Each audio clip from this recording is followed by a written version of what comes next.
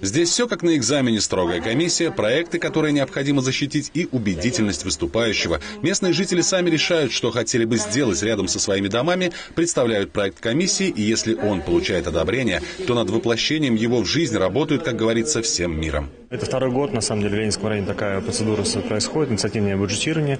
А, заключается она в том, чтобы жители, непосредственно желающие благоустроить ту или иную территорию или реализовать тот или иной проект с участием своих собственных денег, коллективных денег, и, соответственно, привлечением денег администрации Ленинского района и поселений участвуют в таких мероприятиях.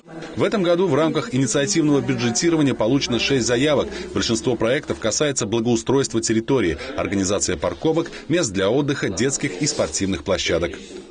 Планируется реорганизация парковочных пространств возле домов, то есть мы не, не все купили, да, то есть именно э, дома 4, 5, 6, 15, 15, да, то есть основной дом это 15 дом, да, один из довольно необычных проектов представила жительница микрорайона «Эковидная» Елена Шантер. Его цель – организация досугового места, создание амфитеатра на территории микрорайона. Проект вызвал немало споров.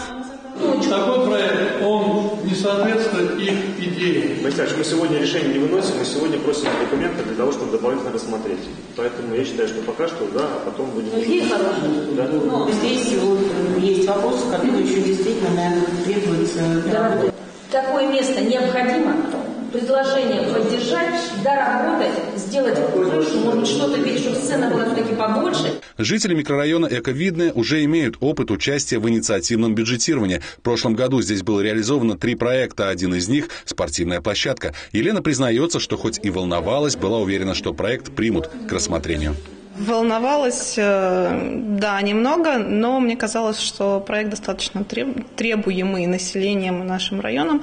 А боялась того, что будут задавать вопросы по нашей визуализации, как раз по отсутствию крыши, которой нет, но которая нужна, и по поводу того, как оно будет выглядеть именно у нас э, на э, берегу, который идет под наклоном. Участие в подобных проектах жителей – дело выгодное. Сами они вкладываются чисто символически и имеют возможность жестко контролировать исполнителей. А львиную долю расходов по проектам несут районный и городской бюджеты. Финансирование у нас осуществляется из трех источников. Первый – это основной источник э, бюджета Ленинского муниципального района. Составляет он э, более 75% в общей доле от суммы проекта. Да? До 25% это у нас бюджет э, поселения, потому что на территории поселения вопросы благоустройства относятся к их компетенции, к полномочиям. Ну и жители до 10%. Но здесь могут как и жители сами, непосредственно физические лица участвовать в реализации проекта, а также и коммерческие организации, которые имеют право финансировать э, данный проект. Для того, чтобы идея воплотилась в жизнь, нужно сделать немало, создать инициативную группу, подготовить проект, защитить его на конкурсе. Но эти усилия будут не напрасны, ведь речь идет о создании комфортной среды жителей. Максим Козлов, Александр Логинов, Елена Кошелева. Видное ТВ.